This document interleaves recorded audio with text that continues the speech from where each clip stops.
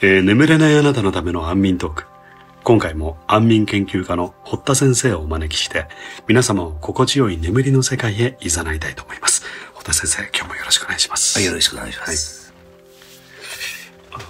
ちょっと今の、ひ久々なご挨拶、ちょっと今聞いた気がするんですけど、久しぶり、久しぶりってやっぱそうですよね。やっぱそうですよね。養老たけし先生ですね。いや、養老たけしってのはよくわかんないですけど。いやいや、養老たけしの真似でしょ、それ。えどう考えてもーい。や、私はね、全然ね、はいあのね、もうみんなね、あの、あいつに似てるとかね、ん？であいつ、あいつが、えっ、と、寝やすい喋り方をするとかって言い方するけどね、あいつっては、解剖、解剖やってるでしょ？私解剖学やってるでしょ？はい。私ね、あいつって言わないの。陽気っていうのね。だから、よ陽気が寝たって言うんですよ。あ寝るときは。そうそう。でよ陽気が似てるねって言うんですよ。あえ今日、まあ、そんなことはあ。どうだ。完全に寄せてますけどね。しかも、なんだっけ？よあいつが、あいつの声が、寄せてあげるので、そんな話はしてないですよ。わかりました。えじゃあえではい、今日、今日、うん、今日なんですか？いやいや、あ、ま、あのー最近寝れてますよ、私なんか。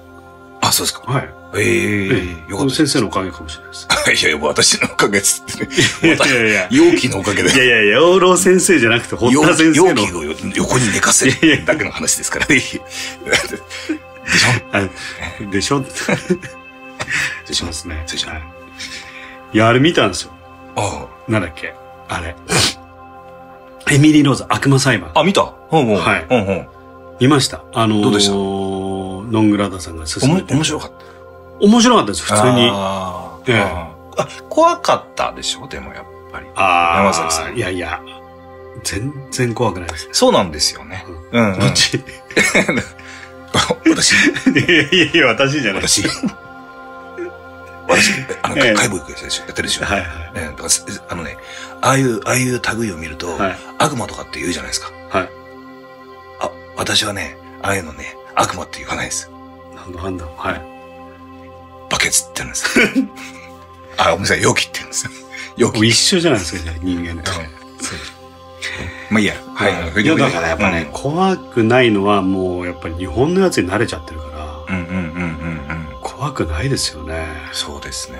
うんあの、悪魔払いの映画ってアメリカとか多いでしょ、うんまあ、アメリカなんかヨーロッパが本当は多いはずなんですけど、アメリカがやったらね、エクソシストだったりとか、悪魔払いをテーマにしている映画たくさん多いし、うん。まあね、それになんかこういろいろとこう出演者が次々死んでいった呪いの映画とかって言われたりとかしているんですけど、ちょっと私不思議だなと思うのは、うん。なんで海外は悪魔なんですかね？うんね、前もちょっとこの話したけど、日本は悪魔でじゃあ出ないの？なんで出ないの？って。うん写真に写ったりとかね。悪魔写真写んないでしょ？そうそうそうで、か海外の方は海外なんですよ。海外っぽい、こうなんか、うん羽が生えた打天使だったりとか。ううん。んあれ不思議ですよね。そうなんですよ。国によってそれ変わっちゃうっていうのはね。そうなんです、そうなんです。うん。同じようなものを経験はみんなしてんだけど、その捉え方がその国とか文化によって違うんでしょうね、きっとね。そうなんです。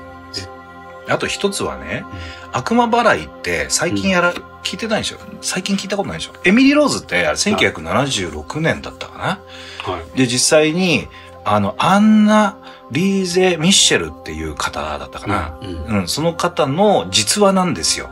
うん。で、本当に当時、うん。あ、これ、あの、ごめんなさい、今日はね、えーエミリー・ローズのお話、知らない方のためにざっとお話しするとね、まあ、その、えーアンナ・リーゼ・ミッシェルさんという、えっ、と、方がね、まあ、悪魔に疲れ、取り憑かれた。うん。っていうことで、で、えっ、と、神父さん呼んで悪魔払いをした。うん。ところが、治らなくて死んでしまった。うん。で、そのことが原因で裁判になった。うん。その神父さん、えー、まあ、えっ、と、悪魔払いなんかしないでちゃんと精神科医連れてけば死ぬことはなかったんじゃないか。うん。だから、傷害致死じゃないかって言って、神父さんを訴えられるうんっていう、そういうテーマの映画なんですよ、あれはね。うんで、いろいろそのし裁判の中で、えーいろんな証言を元にしていくんです。それがまあ、今回の映画のね、うん内容でしたよね。はい。そうそうそうそう。実際起こったことを、うんえーいくつかこう、えー裁判の中出て、うんあれ最終的に僕覚えてないですけど、負けたんですよね。あれ。えっ、とね、結果的には負けですね。。ね。そうそう。言っちゃったけど、まあいいか。うんああ、そこ、そうです。そっかまあ、もう有名な映画だし。有名、もう結構前の昔の映画だし話だしね。うんそうそうそうそう。ただ、あの時代だからう、んうーんと、悪魔払いに頼ったけど、現代って、現代悪魔払いに頼るかなっていう。お母さんたち、お父さんたちがね。いや、全然頼ってるじゃないですか。頼ってるんだよ、あれ。いや、あの、海外わかんないですけど、うん日本でうん。怪しげな宗教めっちゃ今流行っ、めっちゃあ、そうだ、宗教か流行ってますよ。確かに確かに。えうん、そうだ。でも確かに、そうだ、僕もね、だから、えっ、と、えー、小学校の時に受験してえ、はで、テストの点が悪いから、これ呪われてんじゃないかって言って、お祓いに連れてかれましたからね。い。それ本当ですか？本当ですよ。おが、え、お母様に？そう。信じるね。そうですよ。で、あの、なんか、で、食べ物が悪いんじゃないかっつってね、全部、あの、健康食品に行かされて、健康食品で、なんかね、うん、4次元とかって飲まされて、すご。うん、1本900円もするんですよ。それを毎日毎日。いや、そ1本900れ円、毎日ってさ、相当な金額ですよ。これ、サラリーマンのお弁当代ですよ、これ。うわ、それぶっ飛んでますね。うん。あ初めて知りました。そうです。で、その時にお払い受けたのがお不動産だったんですよ。だからずっとお払い毎日聞いてたから、はいノーマクさんまダバザラダンセンダマからしたらそうやってうんたらでかまで覚えてるんですよ。あ、なるほど、ね。で、しかもそれが、えーお不動産の絵買わされたんですよ。でっかいおお不動産。それが80万円。今完全に騙されてるじゃないですか。先生んち。そうなんです。そうなんです。もう、食器だろうが何だろうが全部、えーアムウェイのもので揃えてて、はい。ね。で、はいこれはいいわ、つって。うわ、アムウェイ。最高、つってね。う。うんん。で、あの、けん、なんか、タブレットとかもアムウェイのやつ飲んでたし、はうん。全部高い金でお金で払って買ってきて、い。もうん。う、すごっ。うん。あ、そんなに割と、まあちょっと、騙され体質ってちょっと言葉悪いですけど、ちょっと熱心にいっちゃう系の。うん。そうです。だから、うちの父親がね、それ騙されてんだよって言ったら、いや、騙されていようが騙されていまいが、いいものはいいと。ああ。これによってね、はい。あの、このお祓いによって、はい。おばあ、おばあちゃん亡くなったんですよ。で、おば、おばおばあちゃんが亡くなった時に、うん、お前、あの、うちの父親が言うね、お前こんなお祓いやったって結局死んじゃったじゃねえかよ。うん。うん。いやいや、あれはお祓いをしてなかったらもっとひどい死に方してたって言ったんですよね。ああ、なるほど、ね。で、んそう、しかもこんな、その、さっき言ったドリンク、栄養ドリンク、あれ会社が訴えられてるんですよ。したら、訴えられたよあれって言ったら、うんじゃあもう手に入んないわねっつったんですよ。そうなんです。いや、それ、ちょっとね、それすごいな。てかなんかね、仲間ができた感じ。そう、えいる？そういう？いや、あの、どっちかっていうと元妻がそういうタイプでした。ああ、でも本当そうなんですね。だから母親は、な、はい毒、毒母？母、なんていうの？そういうの？うん。ん。そうなんだ。毒親っていうんですか？なるほど、ね。完全なる毒親ですよ。うん。うわ、すごい。で、私どちらかっていうと、高校の時からそうで、こうこうやってリズムです、うん、行くでしょ。うん論理的に。はいはい。うん。で、父親は全然ち僕派なんですよ。よかったですね、先生ね。うん。だってもうすごい喧嘩で、もうでかい、えっ、と、すごいですよ。えっ、とね、何十キロもあるような、うんあの、あの、食卓あるじゃないですか。はいはい卓、卓、はいあれをひっくり返すんですから。お母様が。うん。それで、あの、その後、これは何とかって言うのよ。なんでひっくり返ってんのかしらって言って。いや、さっき、いやいや、お母さんがひっくり返したんでしょって俺が言うでしょ、はいはいや、違うっつって。すごい。で、これはポルターガイストだって言うの。いやいや、ゼレンスキーやってたよ、自分で。つって。俺がこうやってリズムで、私がリズムでね、こうやってやっていくと、もう逃げ場がないわけですよ。はいはうん。理に論理的に合ってないようなことを言うわけだから、はいさっきのい。話とかね。はうん。でそうすると、うわ、もう、うわ私をいじめるとかって言って、いはいはい。ガーンってやるわけですよ。包丁を持って追いかけられたこともあるし。まあまあ、そそう言ってましたよね。それで、あの、そう、あの、あれですよ、包丁を思い持って一緒に死のうって言われて、トイレに逃げ込んだらトイレの、ま、ドアをガーンってパンチして穴開けて、その穴からゆ腕を突っ込んで内側の鍵をね、ガチャって開けてて。あ、エミリー・ローズどころじゃないんですよ。そっちの方が全然怖いっすね。怖いですよ、もう。うん。だから大体のホラー映画見たって、それはうちのお母さんの方が怖いわ怖いっすね。あ、そう。うん。うん。あ、なんかすごい、あ、そこまでとは思わなかった。そう昔から知ってますけど。そうです。だからもう本当ね、ちっちゃい時なんかもう、あの虐待あるじゃないですか。はいあの幼児虐待。う僕はもう完全な幼児虐待なんですよ。で、父親が帰ってくるまで、早く帰ってこないかな、つって、うんあの、自分をかばうために、うんえっ、と、な、難度に入って、難度で守ってて、後ろから、なん、歩き音だ、足音、つってた、ズダ、ズダ、ズダッ、だんだん、こいつ、どこにいんのとかって言うわけですよ。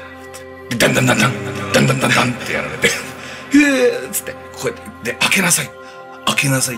ここにいるのねってやるわけです。うわ、怖本当ですよ。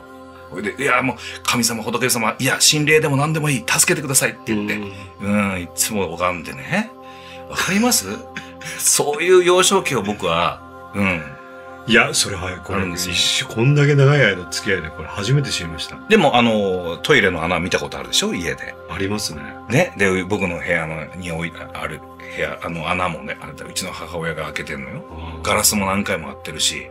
で、007がよく、今でも、ベッドの枕元に、あの、き銃を入れてんの？とかって女の子によく言われてるけど、僕はもうまさに、もう本当に、今でも僕は、ま、あの枕元に そ掃除機の棒を入れて、応戦するようにしてて、あ、そうなんだ。ダダダダってくると、でこっちも寝たふりしてますよ。うんで、バーッと振り上げた時に、ガンってこう、ガッつって、で、払ってバーンってやったら、ここから血がビャーって出てきて、母親の。これで、え、救急車呼んで、救急車呼んで、とかってなって、警察呼んで、みたいな。今の冗談と思ったけど、本当なんですね。ほんとほんとほんと。うわ、すごい。うんあ、血がピューって出たのは嘘だけど、もうここにこう線が入って、あややこしい。キャプキャプテンハーロックみたいになってた、一時期。1まあヶ月それ間もだからわかんないけどね。それも本当かどうか。ええいや、そんなことあったよ、ね。うんあ、そう。うちのエミリー・ローズが。ええ堀田千恵子。はい。そうです、そうです。いや、いいんですよ、いいんですよ。言ってやってくださいよね。いいんですよ。そうなんだ。うん。元気ですよ、まだ。まあちょっと久々にお会いしたくなってきました。本当に。私だった時全然普通ですけどね。全然普通って言い過ぎですけど。ね、そう。大型ってそんなもんなのよ。あ見かけはいいの。人前ではいい格好するあお母さん大型なんだそうそうそうそう。そうん。もうだから本当もう、えっ、と、私にそんな二面性ないですけど、私大型ですけど。あ、まあ確かに。確かに。だけど、うちの母を見て、あ、あなんだろうこれってずっと思ってて、あ、うんこれ大型だからなんだって。あやっぱり思うんですよ。子供どねうん、ずっと付き合って。自分 B 型でね、私は B 型で、はい父親 AB 型だから。あ、あそうなんですね。うん。もう父親と一緒にどうしようかなって。父親もだからもう本当別れようと思うんだけど、お前どうする？どっちついてくるとかっていう。何回も。も相談を受けてて。今も離婚はしてないですけどね。そう偉いですね、お母さん。そうそう。そうなんだ。そういや僕が偉いよ。確かに一番。うんで、僕が父親にそれ聞かれた時、小学校6年生だったんだけど、うんいや、そしたら僕は個人に入るっつったんですよ。あーなんで、なんでだ、なんでだ、そうそしたら選ばれなかった方がかわいそうだからって聞いて、離婚をやめたらしいですよ。頭いいでしょ、僕。頭いいっていうか、うん、ん頭、頭いいか。優しさじゃないですよ。そういう風に言ったら離婚しなくて済むからって思って。なるほどね。父親の経済力が重要だし。なるほど。うん。お母さん見捨てらんないしね。そうそうそう。うんそうなんですよ。すごいな。うん。なことありました。うん。まあ、いろんなことはどうでもいいんですよ。そすの本題のエミリー・ローズさんのね、うん、話。まあでも、あの、そういう過去の、うん。僕の悲しいうん過去、どうです？皆さん、あれでしょ？人の不幸って楽しいでしょ？ねえ、今の時代はね。いや、確かにうん。まあ幸せそうでもう大成功した人の話よりも、うん。ちょっと安心できますよね。そうなの、そうなの。安定剤、精神安定剤なんで、ひ人の不幸は蜜の味じゃないけど、いやーそうなんです。だから勇気づけられるっていう意味でね。はいはい。そうなんです。それでもこんだけ明るく生きてるんですから。確かに。うん。そう。そうですよね。そうなんです、そうなんです。うん。ああ、そっか。うんうん。え、なんかいい回ですね、今日。自分でまあ言うのまあそうですか。なんですけど、うん自分たち言うのも。はいエミリー・ローズの話ほとんどしてないですけど。まあでも本当ね、そう、えその、やっぱり呪われるっていう、た呪われた人を、そうやってお祓いで何とかしようとするっていうことってそもそも眉唾なところ僕あるんです。うん。なるほうん。ど。うん。まあ実際は今の時代もしそんなこと起きたらまず精神科医見てもらうでしょ。で僕ね、あの、エミリー・ローズっていうのはちょうど友達でね、精神科医の人間がいていろいろ聞いたことがあるんですよ。うんそしたらね、うんあの、まあ要はうん、まあ精神疾患でもうん、典型的な。うん。で、その統合失調症そのものなんあの、症状っていうのはね。で、例えば、あの、じゃあ聞いたの、あの、なんでヒットラーの名前が出てきたりとか、6人、6って、何番、数言うでしょ？うん。ね、あの数っていうのは、要は、最終的にはその6人の悪魔の名前を言ってるわけですよ。。例えば、ユダ、うん。カイン、ルシファー、うん。ヒットラー、ネロ、フライシュマンっていうね。うんで、これらの、えっ、と、名前が出る。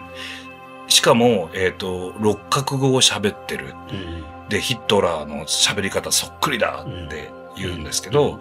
あの、統合出張症の、その、えっ、と、患者さんの中にはやっぱりね、あの、乖離性障害っていう、これつまり多重人格なんですけど、もう本当に過去に聞いたことがあるとか、過去ちっちゃい時にこう、なんかどっかで聞いたことあるっていうのがね、実は人間誰でも真相知りにこう入ってるんだけど、うん出てこないんですって。うんで、乖離性障害を持ってる人っていうのは、それがふとした時に出てきて、うん自分も意識してないのに、えーその、そっちの人格に完全になりきるっていう、うんそういう症状があるらしいです。もうまさにあのエミリー・ローズさん、あの症状そのものなんですって。ううんん。だからそういう考えると、あれホラー映画じゃなくてつまんなくなっちゃうかもしれないけどね。うん。なるほどね。そうなんです、そうなんです。だから六角語、あの納屋で六角語を喋ったはいはいはい。ね、っていうのも、はまあそのエミリー・ローズさんってもともとやっぱりドイツ人なんですよ。うん。うん。で、ドイツ人って大体英語喋れるんですよね。うん。うん。それと、あと、えっ、と、キリスト教のカトリック教信者ですよね。うん。で、かなりもう家族みんなで熱心な信者だったらしいです。うん。でそうすると、やっぱりその、えーカトリック教のその教えの中に出てくる悪魔とかって結構ちっちゃい時からもう入身に入ってたっていう、うん、そういうことを考えると、あ、もう、あの、そもそも、やっぱ通常、普通の精神疾患を持ってらっしゃって、薬でね、現代だったら治る病気をうんお祓いに頼って治さなかったって、ちょっとかわかわいそうな人かな。あんな綺麗な人なのに。うん実際のその、えっ、と、何でしたっけ？チチョリーナでしたっけ？んあ、あの、アンジ、アンナリーゼ・ミシェルか。結構綺麗な人で。チチョリーナどっから出てきたんですか？チチョリーナって、いましたよね。いいたよね。うん。そうまあいいや。チチョリーナで今日は落ちたけどね。全然良くないですけど。えーサムネイルチチョリーナですか？今日ね。これで。いやいや、違いますけど。はい。そうなんだ。でもなんかあの映画って、そのうんホラーっていうよりは、なんか、えっ、と、よ、法法廷サスペンスに近いものありましたね。そうでした。そうでした。だってってことは、はい要はやっぱあの女弁護士の、えっと手腕がまあ負けはしたもののほぼ勝ちじゃないですか。そうですね。うん。ねうん。そのがそのやりとりが面白かったですね。どうやってその非論理的なことをであの神父さんの罪をうん。軽くしていくかってうんいううん彼女の手腕がうんよく出出てきた映画でもありました、そうでした。いろんな意味で面白かったですよ。ああ、よかった、うんそりゃ。うん。まあだからあれはほら、ホラー映画として見られるとつ全然怖くないじゃんとか、面白くないじゃんってやだからそそうですよ。うん、なるのかな。うん。ホラー映画としては見てなかったですうん、ね。うん。そうですか。金八先生見ました？見ました。腐ったみかん。草富か。うん。ああ、どうでした？うーん。あのー、いやいや、もちろん良かったですよ。ああ、じゃあちょっとそ今度その話聞かせてくださいよ。大丈夫ですか？これ順番とか。順番とかって何、順番とかって何いや、ですか？わかんないけど、いつアップするかわかんないよな。大丈夫かなと思って。あれ？うんあれ？金八の話昨日聞いてんな、みたいな人出てこないから、ちょっとそれは心配になっちゃって。いやーね、金八先生の話をね、うん。何回でも聞いたらいいと思います、今の人類は。そうですよん。金八先生、本当にいい、いい人、いい先生だなと思って。いい先生に巡り会えたな私が言ってるのは、え順番がね、回が逆になって、はい昨日金八先生特集やったのに今日また喋って、いつか金八先生の話聞きたいっつってっから、でもしね、なってたとしたえら、まずいかななんてこと今想像したんですけど、別にあそんなこと心配する必要ないか？先また、し心心配いらないよ。ね。大丈夫？大丈夫だよ、本当に。考えすぎか。うん。考えすぎだったか。焼いちゃうね。焼いちゃう。考えすぎだ、本当に。ねえ、考え、考え、考えたって、あちょっと違うな。ごめんなさい。そうか。はい。じゃあ、あ、あのーえおかげさまで本当登録者方増えて嬉ねしいですね。本当です、本当です。だありがたいですね本当にね、日々真面目にや、生きてき、やってきてこれてよかったなと思って、もうこれはね、本当に一重にね、あの、皆さんのおかげ、で、それ以上に、山崎さんのおかげ。いや、なんで笑うの？いや、別に俺の。ごめんなさい、ちょっと言い過ぎて、ごめんなさい、皆さんごめんなさい、ごめんなさい、ごめんなさい、ごめんなさい、ごめんなさい。ごめんなさい、ごめんなさい。ごめんなさい、ごめんなさい、ごめんなさい、ごめんなさい、ごめんなさい。そんなに謝んなくて大丈夫です。もう何の回だか分かんなかったり、するね。というわけで、あの、ぜひとも、あの、チャンネル登録と、高評価をね、あの、お願いできればなと、ねええ思います。はい。はい。じゃあ、陳、列、在、y、節、仏っていう感じで、よろしくお願いほんとバチ当たりますから。じゃあおやすみなさいおやすみな。さい。